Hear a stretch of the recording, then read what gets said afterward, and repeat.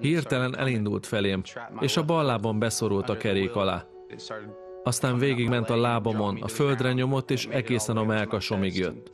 Rengeteg vért köptem, és nem kaptam levegőt. Chris Fuller az aszfalton feküdt egy építkezésen. Egy szempillantás alatt már az életéért küzdött, mert egy 25 tonnás úthenger ment végig rajta. Édesapja Jason, a cég társtulajdonosa azonnal a helyszínre sietett. Amikor megérkeztem, Christopher a földön feküdt, és tűzoltók vették körül. Ahogy közeledtem a tűzoltókhoz, Chris nevét kiáltottam, és kérdeztem, hogy rendben van? A mentők a kórház sürgősségi osztályára vitték a texasi Amarillóban. Chris anyja Nicole már ott volt, amikor Jason a mentőkkel odaért. Egyedül voltunk ott, mi voltunk az elsők. Megöleltük egymást, imádkoztunk és vártunk. Aztán lassan megérkeztek a családtagok is. Ők sokat segítettek. Pár perc múlva kijött az orvos, hogy Jasonnel és Nikollal beszéljen. Rázta a fejét, és azt mondta, őszinte leszek önökkel, nem jó a helyzet. Nem hiszem, hogy túléli. Azt is mondta, hogy ők itt a kórházban nem is tudják kezelni. Dallasba vagy Labökbe kell vinni. Abban a pillanatban hatalmas súly nehezett ránk. Az első pillanatban bepánikoltunk, amikor a rossz hírt megkaptuk, de rögtön imádkoztunk, és tényleg teljesen megnyugodtunk, mert Krisztus cselekedett. Mi semmit sem tettünk, csak hagytuk, hogy a Szent Szellem működjön rajtunk keresztül. Krista Laboki Egyetemi Kórházba szállították helikopterrel.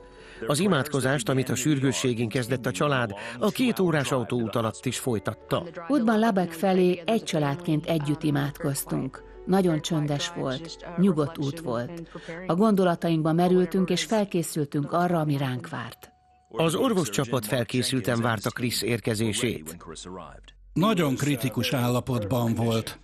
A medencéje egyik fele teljesen össze volt törve, majdnem darabokra. Felfelé fordult, és beakadt az előső keresztcsontba.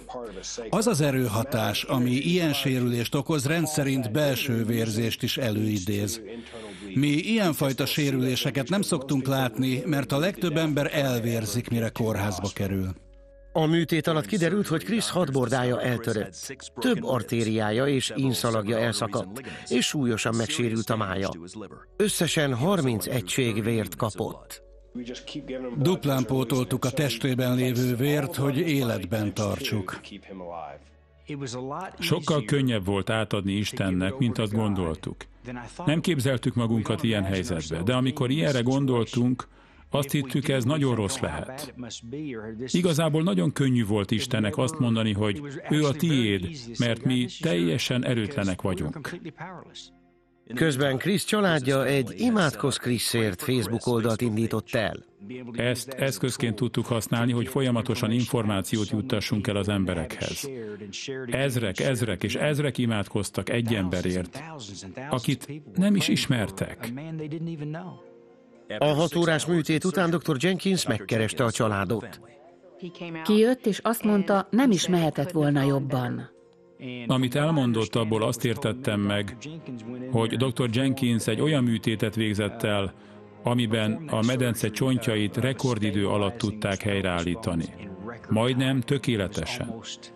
Ebből egyértelműen tudtuk, hogy Isten keze mindvégig jelen volt. Láttuk a röntgenfelvételeket előtte, utána. Egy csoda volt, csodálatos érzés volt, és hatalmas megkönnyebbülés. Tudtam, hogy ott van még a rehabilitáció, de túlélte. Az orvosok három hónapos rehabilitációra számítottak.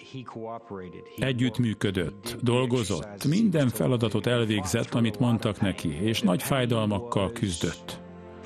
Nagyon intenzív volt a fájdalma, és folyamatos is.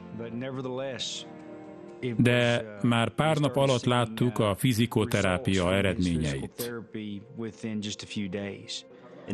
Két hónapon belül már készen állt arra, hogy hazamenjen. Krisz helyreállása csoda volt. Teljes mértékben hiszem, hogy ez modernkori csoda volt. Tudom, hogy ilyenek minden nap történnek, de ez most az én életemben, az én környezetemben volt.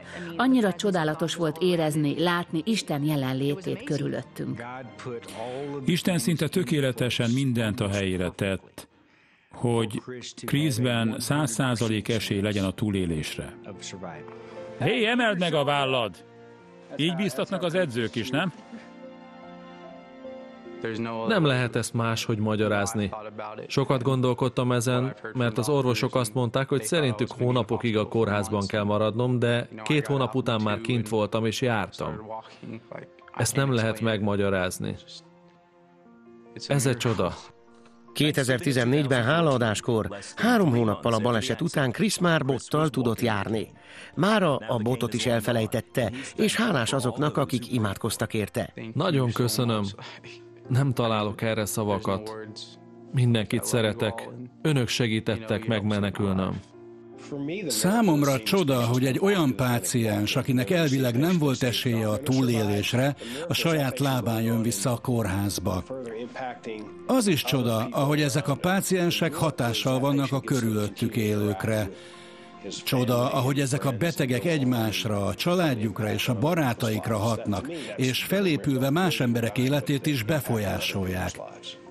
Talán azért vagyok a leghálásabb, hogy sok időt tölthetek a családommal. Minél többet vagyunk együtt, annál világosabb a számomra, hogy milyen szerencsés vagyok, hogy ők az életem részei.